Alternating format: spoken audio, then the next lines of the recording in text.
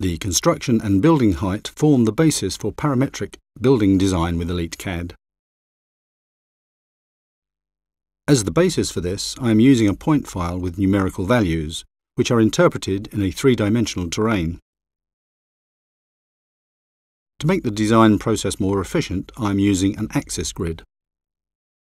I use the axis grid to set the building outline in order to generate a parametric building shape. You can see this three-dimensional building shape here. The building shape can be adjusted using handles and grippers.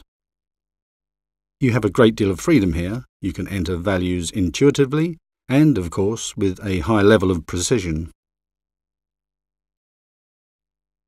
You can now enter this information in any stories and resize walls and ceilings to create this building shape.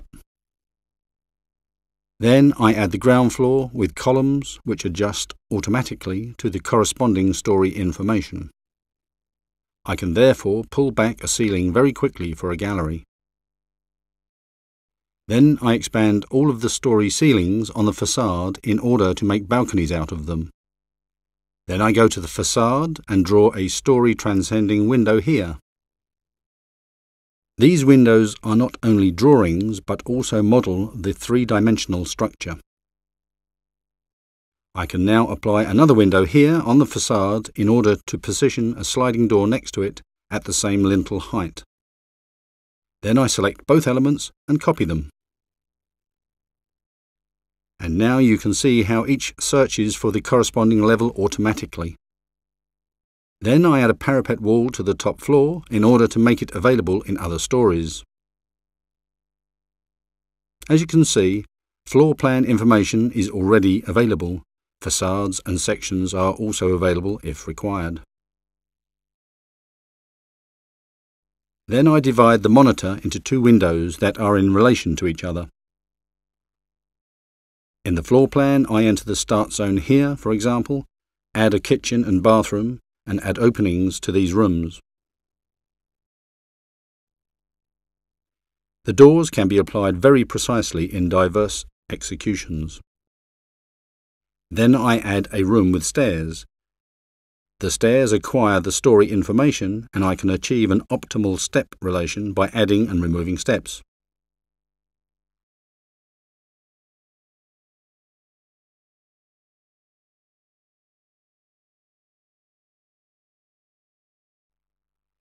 Then I name the rooms. The rooms are not only assigned names, but given additional information, which is depicted accordingly in the database and also in the design model. I can select the materials here and depict them in different qualities. This information is always transferred to the design model, regardless of the view that you are operating in. Then I copy the windows that were applied in the views in the floor plan in order to allocate them to diverse rooms. Then I select this floor plan information and add the living room in order to depict this information in all stories. Note how this information is depicted quite naturally across the entire building in all views in the design model. Then I select the walls of the roof and upper story on the facade in order to then move them to the correct position.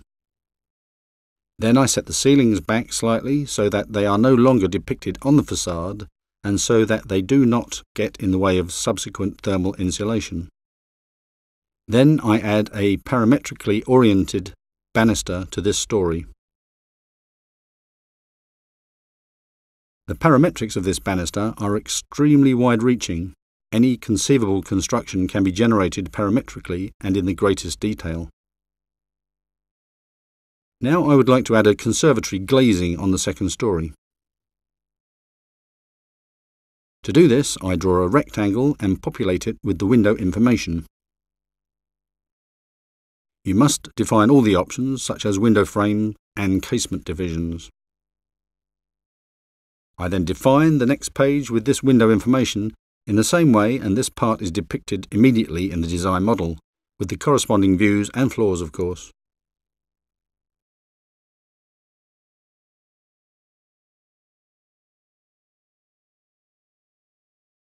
Now I specify the openings.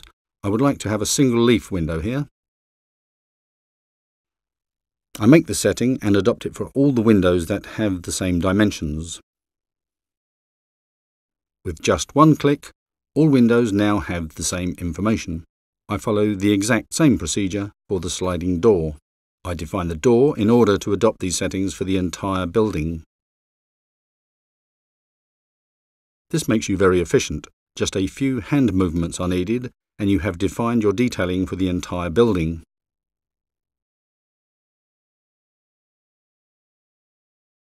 Then I add the west facade. To do this, I zoom in a little, define the story transcending window that is to have a very individual assembly here. Transoms and corresponding rods and dividers are available for this. You can define the structure of the window with just a few movements of the hand.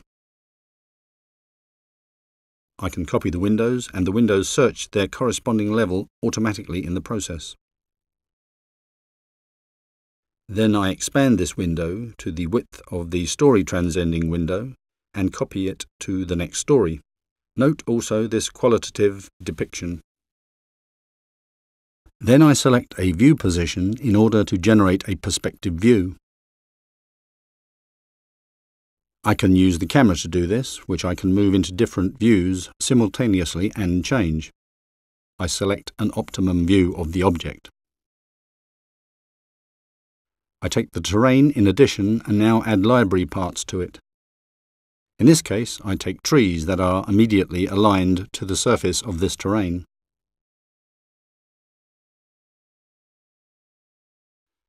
These plants are pixel-based, which means that you can very easily make them individually.